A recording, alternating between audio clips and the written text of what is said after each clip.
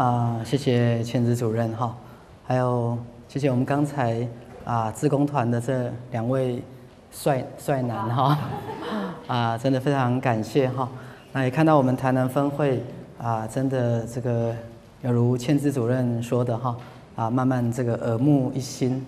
那先回应一下哈，因为刚才啊千子主任提到我们今年啊国际赛斯日是十七、十八嘛哈。十六、十七，哦，那工作坊是十五、十六，好，那应该是两个活动了哈，一个是我们的国际赛斯日，是十二月十六、十七，好，那国际赛斯日啊，我们在赛斯园区里面的 食宿啊，都是完全免费的，好，两天一夜的食宿是完全免费的，好，而且我们主任会议还做了一个决议哈。以后每年的十二月国际赛事日，我们全都要完全免费，因为很简单啊。比如说主任提到，啊，如果我们整个基金会是由大家的爱心所建设起来的，好，如果说我们花莲的赛斯村是由这么多人的努力跟付出所建设起来的，那为什么我们不想不把这份爱给出去呢？好，为什么我们不想着把这份爱分享出去呢？包括啊，大家看到我们的一家主任哈，真的是南来北往。好，比如说各位你们知道，我们网络电视台本来一个月还是要六百块嘛，对不对？好，后来完全怎么样？取消开放。好，而且跟一家主任说，不能因为变免费，料就减少了。好，一定要料多实在。好啊，为什么这样做？因为很简单。也是今天的主题。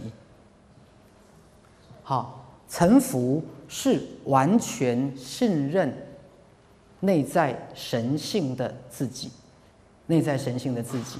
所以臣服，我想这个中文的状态是有问题的。好，因为现在已经没有所谓的君臣了，而且五千年来的确我们也被很多的东西框架了。好，所以臣服。是会被误用的，是会被误用的。怎么样的误用？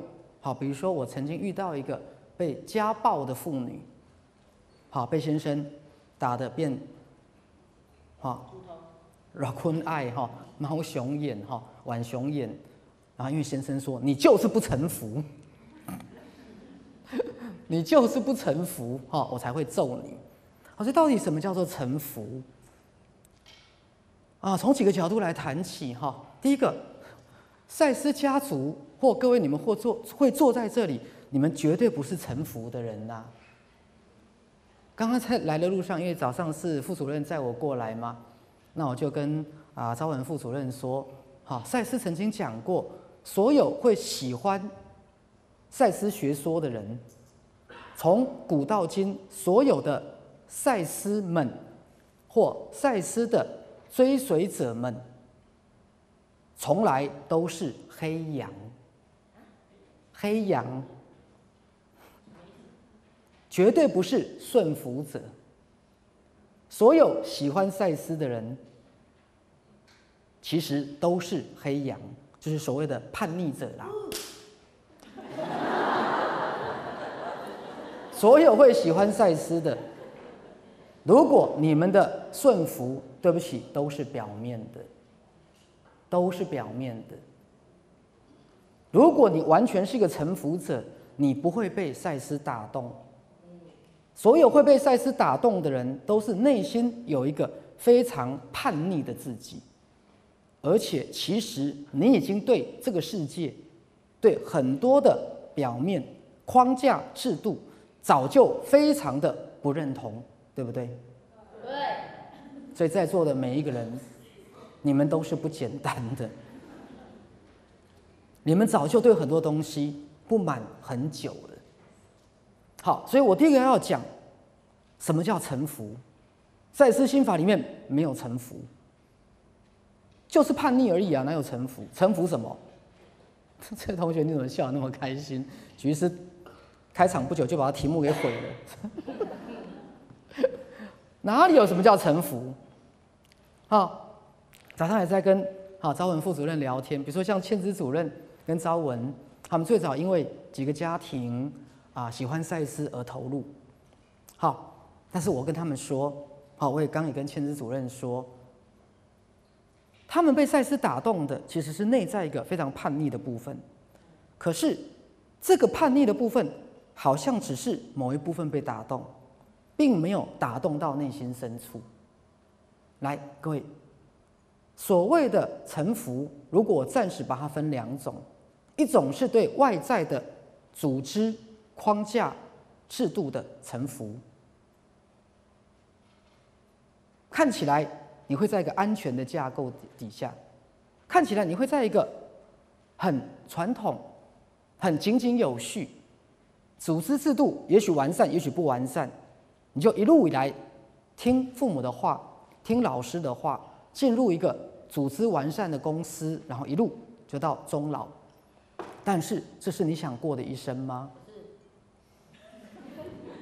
这是你想过的一生吗？另外一种沉浮，是你开始发现不对劲了。好，之前啊，张德芬有一本书啊，虽然我没有。去看它的内容，但是光是书名，我觉得很棒，叫《遇见未知的自己》。所谓的臣服，其实是要经过一个很大的一个叛乱的；所谓的臣服，是要经过一个很大的一个内在的叛逆的。没有真正内在的叛逆，是没有所谓的臣服。所以，我们今天的臣服，不是对任何外界的臣服，是回来如何见到你内在的心灵真正的自己。而如果我问各位，你们敢忠于你内心的声音，纵使它违背了全世界所有一切外在的组织框架、理论、制度吗？你敢吗？很好，我现在就要。challenge 挑战各位，你们这一句话：你敢听你内心的声音而违背你的父母亲？你的父母亲可能为了你好，因为他们可能都是牙医或医生，想当然尔希望你当牙医或医师。可是你看到血就会昏倒。你只喜欢艺术跟体育，你敢不敢听你内心的声音？而勇敢的告诉你的父母亲：“不要，我不想走你们为我安排的道路，我想走我的内心的声音告诉我想走的道路。”今天，你的父母亲或爷爷奶奶创业成立了一家公司或工厂，三代的人就盼着你去美国留学回来，念了一个。企业管理的硕士或博士，来接掌你们的家族企业。大家族一二十个人盼望着你，你敢回来跟他们说：“对不起，我不想接家族企业，我想走自己想走的路。”你敢吗？你敢吗？或者之前我在这里曾经讲过。我们的齐柏林大导演，在面临公务人员退休只剩下短短的一两年，对不对？毅然决然的把公务人员辞掉，去圆他的梦，去圆他的梦，拍了看色看见台湾，甚至还拿爸爸妈妈的房子去抵押一两千万出来拍看见台湾。虽然后来齐柏林导演，好。在花莲的秀姑兰溪的出海口附近，直升机失事。你可以说他为了他的理想牺牲生命，你也可以说，如果他要牺牲生命之前，他没有做了他想做的事，那他活着干什么？各位，今天我们这样讲，你们以为今天的臣服者是乖的，是顺服的？我告诉各位，错了。真正的臣服者心中是有一把怒火的。以赛斯心法来讲，那叫做神圣的不满。但是等一下，各位仔细听我讲，他没有要伤害任何人，他没有要伤害任何人。如果我讲一句实话，对不起，我们都做顺民做太久了。从小，爸爸妈妈告诉我们怎么做；从小，社会告诉我们怎么做，老师告诉我们怎么做。但是各位，你想过一个问题没有？所有从小到大，整个社会告诉我们怎么做的，他。跟我真正内心的声音是吻合的，还是是矛盾冲突的？各位，对不起，终其一生，你必须面对这个问题。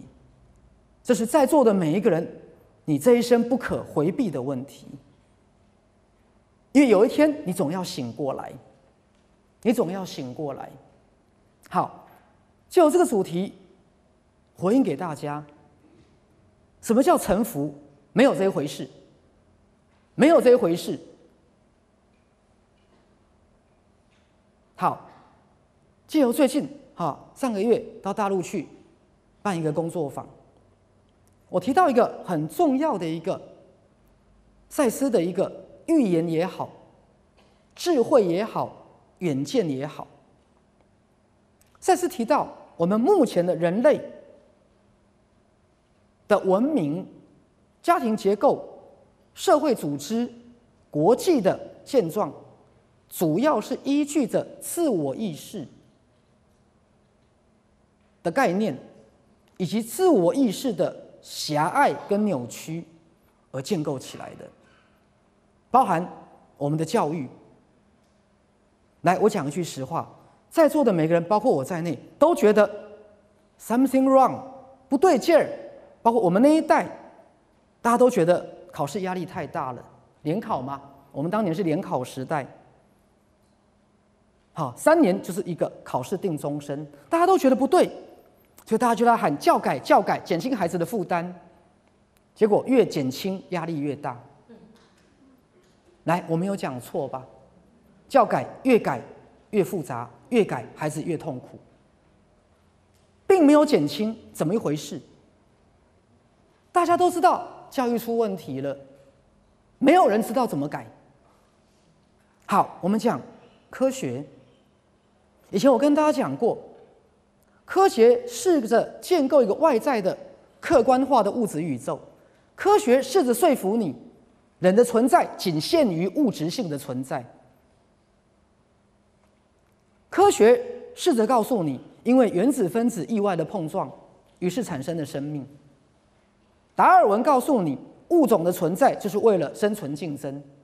物种两个最重要的使命：觅食跟交配。觅食为了存活，交配为了繁衍后代。而觅食跟交配涉及什么？适者生存，不适者淘汰。于是，在座你们混得好的，你们是把别人淘汰的人；混得不好的，是被别人淘汰的人。没错吧？你要么成为强者，要么成为弱肉，为强者所食，吃掉了。好，所以以前台湾社会也流行很多笑话。以前在班上，好功课中等的比较不好的，好去念工专呐、海专呐，类似中国海专之类的啦。后来当了大老板，请班上功课很好的，在美国念完博士的回来当工程师。结果为什么爆肝的是工程师，赚钱的是老板？各位，好，其实就是要报仇嘛。班上功课没那么好的，脑筋好的，爱玩的，因为功课没那么好，好去学技术，后来创业当老板，请当年功课很好的，念完博士、硕士的回来当员工。各位，啊，那个中国海专毕业的，现在就变成郭台铭了嘛，是吧？以前所有。哈，功课赢他的都变成他的工程师了嘛？帮他赚钱嘛？好，所以刚讲，整个科学建立起来的，带给我们生活越大越来越大的便利，可是却离我们的心灵越来越遥远。科技始终来自人性，但是科技似乎凌驾了人性。好，所以我到大陆去上课，大陆同学跟我讲一个笑话，他说：“许医师，近百年来医学没有进步，是医学的仪器一直在进步。医学没有进步，是仪器一直在进步，是科学一直在进步，医学没有进步。因为有越来越新的科学的仪器，包括正子摄影啦，治疗癌症的机器啦，动辄可能上百亿。我们的医学医学医学理论没有进步，没有的。”只不过研发的药物、机器越来越进步，所以我们的疾病也找不到真正的关键。好像我们变健康了，却吃吃药的人越来越多。好，所以最近 FB 上又一篇笑话，好，研究的主题是医院罢工有助于降低死亡率。很简单，叫自求多福嘛。你自己就要注意一点了啊！好，阿伯大意又又扣谁？你知不？医院罢工了，大家就要自求多福了。所以后来发现，降低死亡率最好的方法是医生，医院罢工，休息，医生罢工，降低死亡率是最快的方法，其他效果都不大，好不好笑？各位，你仔细一想，其背后涉及的是什么？心理学。今天如果爸妈不够有钱，就自己要努力一点啊，对不对？爸妈很有钱，你只要负责不要死掉就可以了。像我做心理治疗，为什么做的这么好？我就跟有一些独生子女的个案讲，好好的把身体养好。好，也不要太累太辛苦，反正总有一天等到他。好，不要焦虑，不要忧郁，对，不要急着找工作，不要急着想赚大钱，先去问问我是谁，我要的是什么。反正你也不会饿死，好，那马上心就安了，焦虑症就好多了。哎，后来果然就这样哦，好，后来果然好，爸爸妈妈买房子就买他的名字了。好，将近两千万的房子登记他的名字，然后爸爸马上一个月给他六万块，然后还要把公司的股份给他，所有的焦虑都没有了。好，所以回到刚讲，我们的科学，甚至医学，好，最近我在脸书上也有一篇，好，这个叛逆文章，叫做延误医疗，内容大概是。我们现在主流的西方医学，一直把所有的人引导到疾病的客观化。现在的主流医学一直把各位引导到疾病与你的心灵没关系，与你的个人心灵无关。是你吃错食物你才生病，是你的遗传体质你才生病，是病毒细菌你才生病。是莫名其妙的原因，你才生病。不管什么原因导致你生病，那个原因就是跟你没关系，跟你是谁没关系，跟你过得快不快乐没关系，跟你内在心灵的焦虑、忧郁、恐惧没关系。于是，疾病的形成、疾病的疗愈，被引导离开了个人内在的主观感受了。因为一个疾病被客观的对待，被客观的治疗，各位，于是徐师讲了一句，好，很叛逆的话，这不叫延误医疗，什么叫延误医疗？你真正的医疗是回到我们的内心，看到内在的痛苦、内在的压力、内在的能量的冲突如何与疾病的形成产生关联，如何透过自我觉察。甚至开始启动我们的自我疗愈力，才是真正的治本之道。但是整个西方医学的治疗，我可以开百忧解给你，我可以开抗忧郁剂给你，我可以开安眠药给你，我可以开所有的抗焦虑的药给你，因为开给你了，你吃一颗药下去，情绪就会好多了。好多了的结果是你不用直接面对你的问题了，面对你的什么问题？面对你的阿达玛孔古力，面对你的想不开，面对你的放不下，面对你的想不通，面对你的框架的思想，面对你内心的冲突与矛盾。我用药物把你的症状缓解了，却带你离开了面对你内心真正的问题。于是你可以不用自我面对，而继续的自我欺骗的活下去。于是你可以带着满心的痛苦，不愿意上班，可是因为吃了药，你可以顺服的继续去上班。直到有一天，你被诊断得到更大的疾病，同时觉得很悲哀，为什么我生病？同时很难过，终于可以不用去上；同时很开心，终于可以不用去上班了。各位，所以我们现在人类的自我意识以及建立起来的这些现状，把我们带的离心灵越来越远。来，我下面这句话很重要。各位，对不起，心灵不是吃素的。好，这是引用电影里面的一句话，哈。好，心灵不是吃素的。再次这句话很好玩。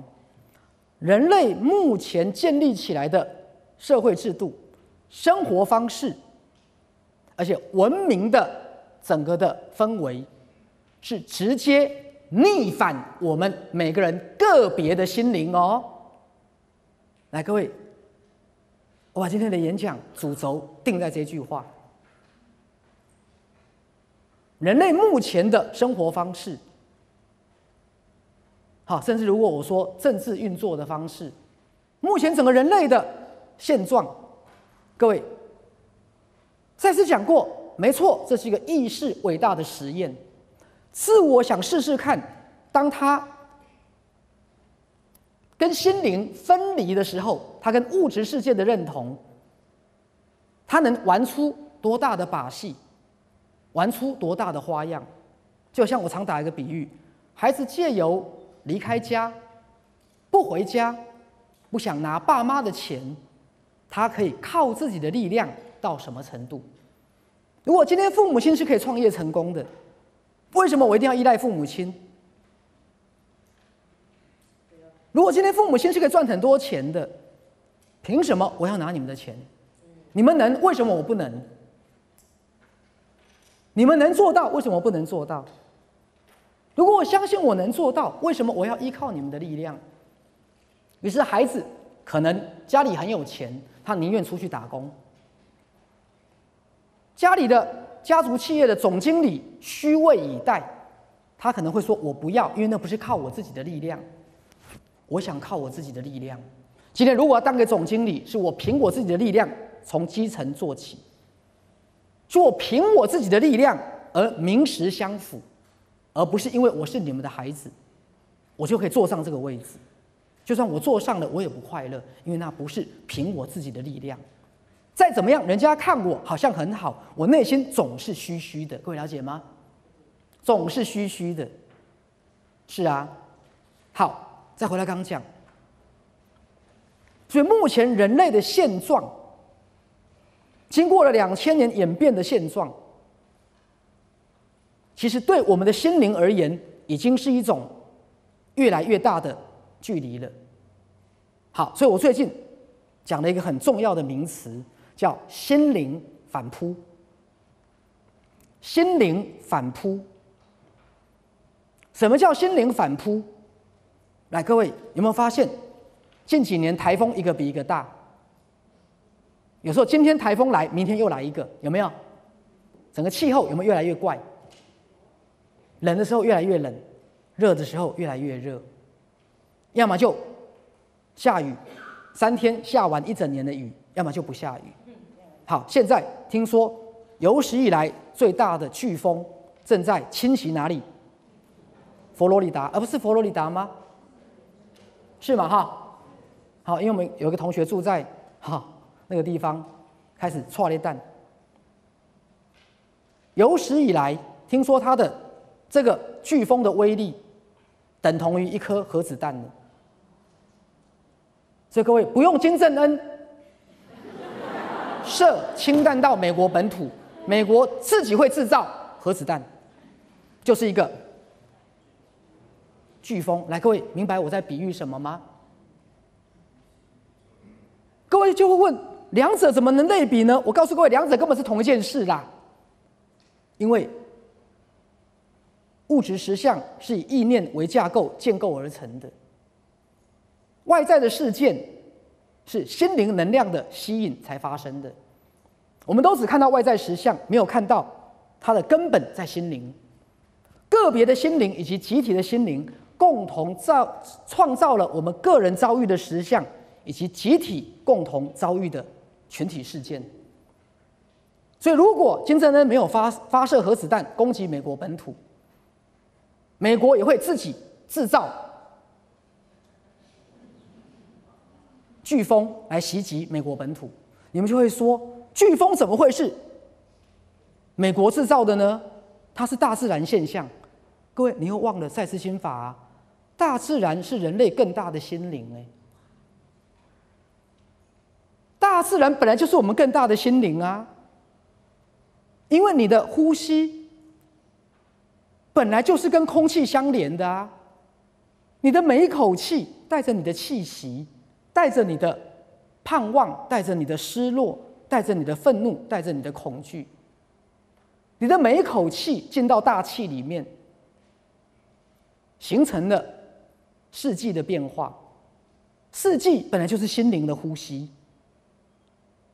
春夏秋冬本来就是来自心灵，你还以为它是外自外在的客观的气候现象啊？各位，这就是我刚才说各位我们整个文明的问题所在了。你们从小到大受的教育，让你们以为气候是大自然的客观现象，对不对？是不是？是。各位，对不起，你们脑子坏了，因为你们从小到大受的教育是错的。我很臣服的说这句话哦。你们从小到大受的教育是错的，谁告诉你气候是大自然客观现象了？老师，因为老师不懂赛斯心法，他只懂得人云亦云，各位了解吗？他只懂得自我狭隘的意识所建构起来的狭隘的学问，所以目前这个世界是由狭隘的学问所建构而成的。它已经没有办法符合心灵的需求了，所以心灵为什么要反扑？因为对不起，大家过不下去了，过不下去了。好，我再回到刚讲，从小谁教你外在的气候，春夏秋冬是大自然的客观现象，与心灵无关。我问各位，气候会影响到你们的情绪？气候当然会影响到你的情绪。你怎么没有想过是内在更深的情绪引发气候的节奏呢？你怎么没有想过是人类与万物共同的潜意识？气候是内在心灵的呼吸。各位，我们是不是在讲人类的世界贫富越来越悬殊？快乐痛苦的有没有越来越悬殊？然后一个台湾，一个世界，两种国，两种生活，有没有？欧洲也是啊，有一群人钱多的花不完，有一群人，哈，像中东的难民要住在公园，随时面临被驱逐。整个社会的极端化，贫富的极端化，各位，还有我们大家情绪的起伏不定，你以为这跟外在气候无关吗？因为我们从小所受的教育是错的，各位，我们在讲疾病，我刚刚一直在讲了，整个医学的发展，让你们主观的心灵与疾病的起因跟疗愈脱节了，疾病被视为外在客观现象，疗愈的方式也是外在客观的手段，各位，你就是一辆车子送进去保养厂而已。一个传统的医疗人员不知不需要知道你是谁，不需要知道你跟媳妇处的怎么样了，不需要知道你担心儿子媳妇的离婚，担心孙子住哪里，跟你的胃溃疡的关联是什么？他不需要知道，他只要治疗你的胃溃疡就好了。而他竟然天真的以为他能把你的胃溃疡治好，而不管你的内心的痛苦。各位了解我在说什么吗？来，我下面这句话很重要。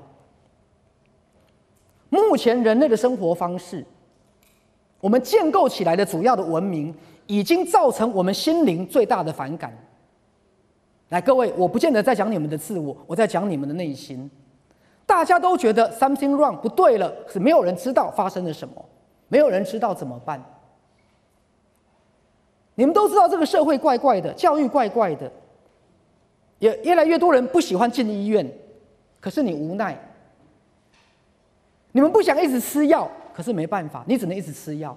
难道让血压一直高上去，等着中风吗？你不想一直吃降血糖的药，可是你只能一辈子吃降血糖的药啊！不然你的孙子骑脚踏车经过你的脚趾头，就会说：“阿妈，阿妈，你怎么了？”没有，阿妈只是睡着了。那你的脚怎么没有感觉？因为你的末梢循环不好，因为你的 HbA1c 糖化血色素太高。因为你的血管神经泡在高血糖的血液里面，产生变质的现象了，所以你的孙子会叫阿妈阿妈，你的脚怎么没有感觉？没有，阿妈只是睡着了。各位，你都知道问题所在，但是你没办法。好，刚才倩芝主任有一句话，好，徐氏稍微想了一下，他说希望大家来参加。我们赛之村的荣誉村民工作坊，可以更靠近许医师。我才不要你们靠近我，我才不要被靠近。但是这句话的反面是，我好希望你们靠近我，因为我希望你们靠近我，你们可以更靠近你自己。我常讲，为什么我喜欢赛斯，跟他是什么赛没有关系，跟昨天我们的梦醒演讲出赛斯变塞琳尼啊有没有？也没有关系。我不是靠近赛斯，因为赛斯让我靠近我自己，赛斯让我的心灵觉醒，赛斯让我内在的声音越来越大声，越来越大声，直到这个大声。冲破了所有我从小到大耳朵听到的外面的声音，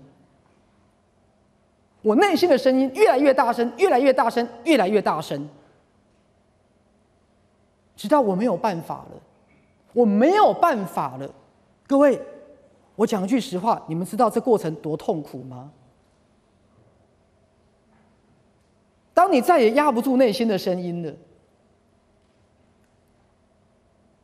当你的内心被打开了，被启发了，就像水库溃堤一样，你没有办法挡住任何它的一丝一毫了。其实真的是痛苦。所以我刚讲，赛斯是什么东西？它根本不是个东西，它更像个南北。我没有靠近赛斯，是因为当我靠近赛斯的时候。他让我靠近了我自己，所以你们没有人需要靠近我。如果你需要靠近我，只因为当你靠近我的时候，你靠近了你自己，于是你也没有再靠近我。我不知道各位理解我的意思，就像你们现在坐在这里，你知道我最大的心愿是什么吗？打开你们每个人个别的心灵，个别的心灵。我有一个使命，让你们内在的声音从“哧嚓嚓嚓嚓嚓”“哧嚓嚓”，那什么？声音。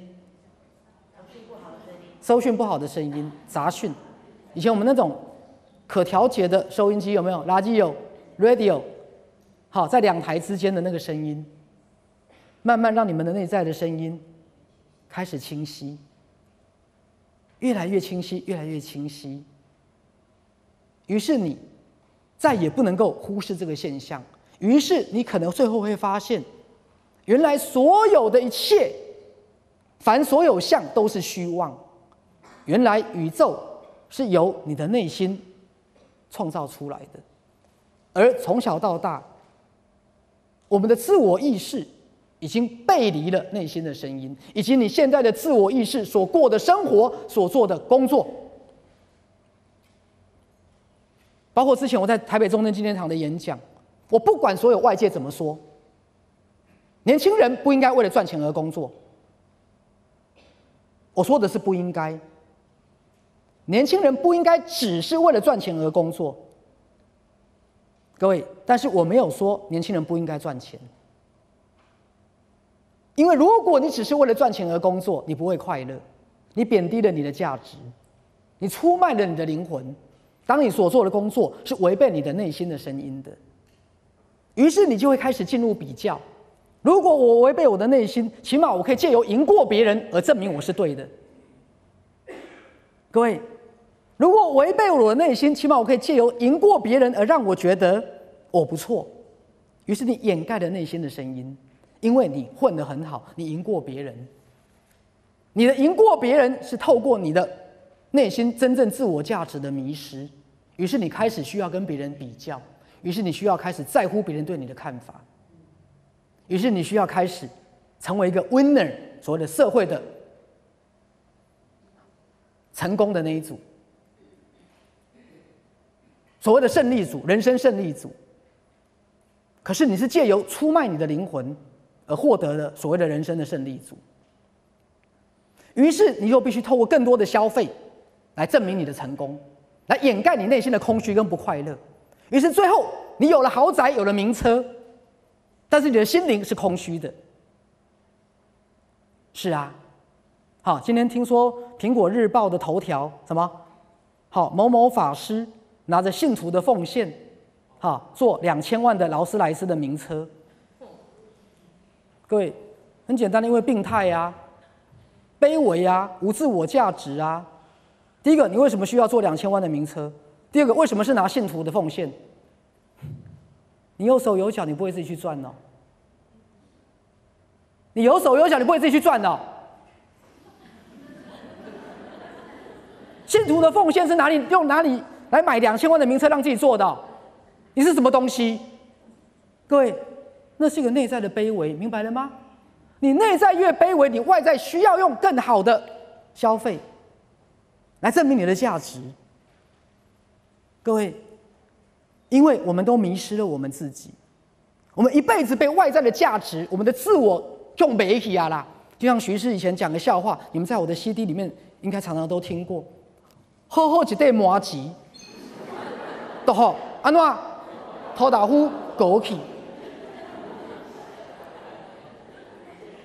宝宝听不懂哈。好好一对麻吉，好都好头打呼枸杞。自我意识本来它应该是双向的，同时以外在物质实相作为活生生的回馈，同时它最主要的必须要倾听来自潜意识跟内我的声音。人最后唯有忠于自己，你才会身心灵的平安。人最后你不能背叛的是自己，不是任何人。自我意识本来应该有一个很重要的功能是。倾听内心的神性的自己的声音，可是我们的自我意识都跟他一对，背背摩吉的哈头倒呼狗屁，这个头倒呼是什么？就是外在物质实相的这个部分。自我意识还发明了很多的理论，发明了很多的我们的你们从小到大所受的教育的信念。来告诉你们，让你们以为物质是唯一的存在；来让你们以为肉体消失了，你就不再存在；来让你们以为好像物质宇宙是唯一实存的宇宙；让你们不知道人有一个心灵，人的心灵充满了爱、智慧、慈悲、创造力跟神通。然后过去的开悟者试着把心灵诠释给大家知道，就这个心灵又被变成宗教，又去搞崇拜，搞。宗教的那一套，所以宗教本来是要启迪人的心灵，反而人似乎更不需要自我负责，变成盲从就好了。多少宗教是在鼓励个别心灵的觉醒？来，明白了吗？多少宗教是在鼓励个别心灵的觉醒？各位记得我说个别哦。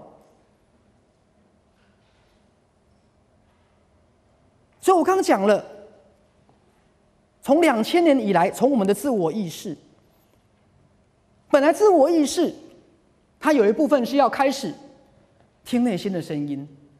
各位，我刚刚跟各位讲过了，好，遇到赛斯心法，是我一生痛苦的开始，也是我一生快乐、解脱、喜悦的开始。痛苦在于，它粉碎了我从小到大的信念，我的世界从此不同了。好，那天我打了一个比喻，就好像那个保罗，哈，被上帝的光打中了，然后从马上掉下来，好，从此成为一个基督徒的那个过程，他再也回不去了。各位，当我接触到赛斯的学说也好，赛斯资料、赛斯心法也好，我被击中了。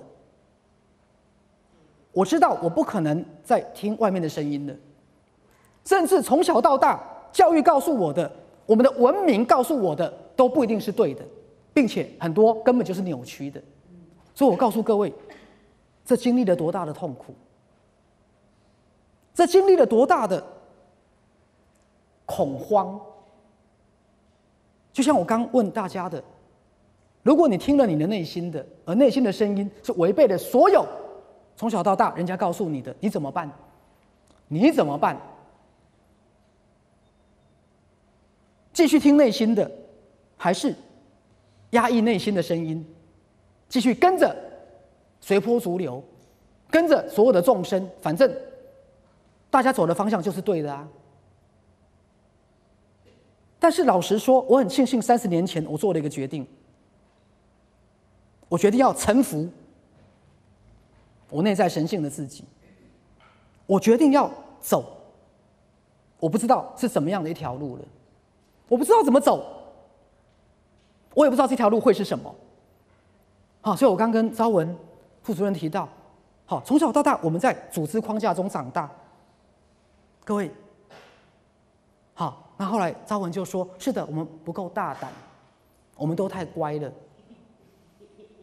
所以我告诉大家，然后顺便说，千子主任也是很乖的，从小就是乖乖牌，资优生，中规中矩。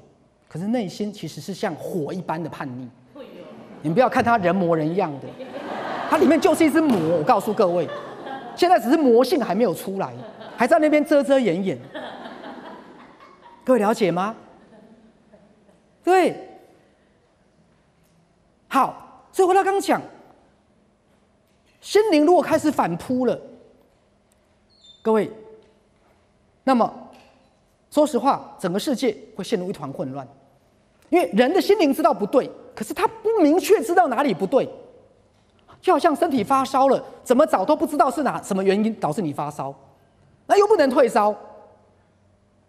各位，心灵在反扑了，我们开始遭遇到痛苦，所以人类的自我意识现在内外交逼，他觉得不对，我不快乐，可是我不知道怎么办，我觉得不是这样，可是我不知道是怎样。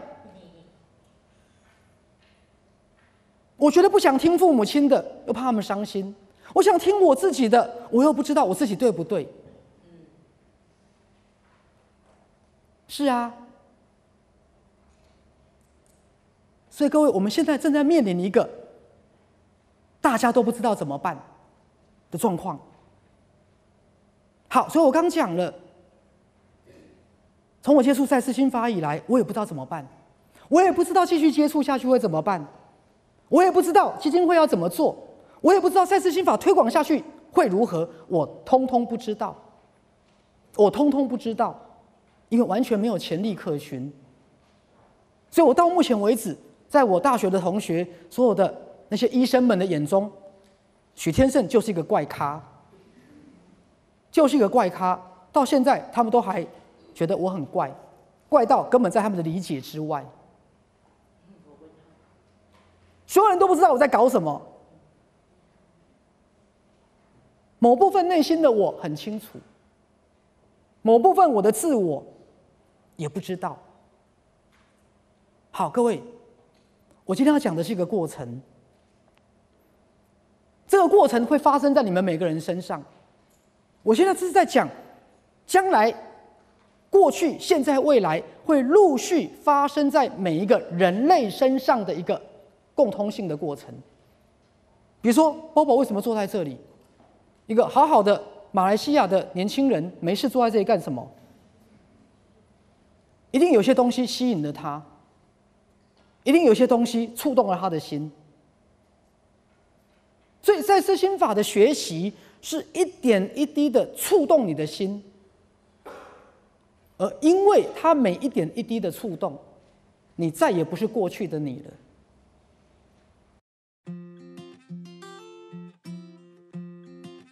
各位亲爱的观众朋友，大家好。当社会上这么多的媒体带着这么多的恐惧、偏见。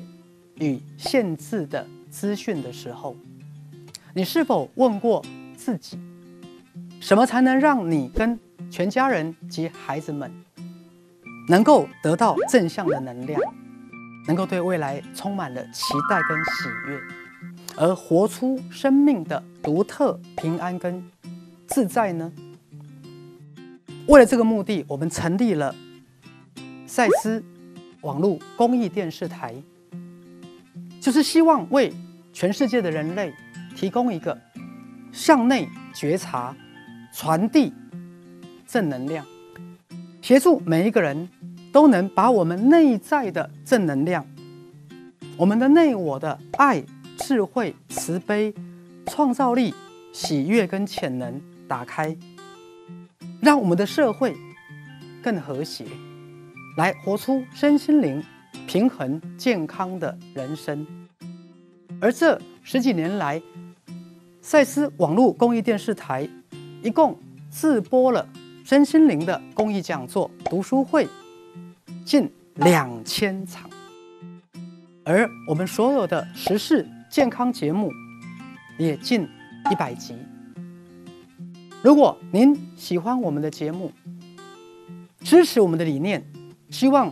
您一起来支持我们的赛斯网络公益电视台，而您的小小的捐款，能够让我们大大的出力，能够让我们为这个社会尽每个人能尽的一己的力量。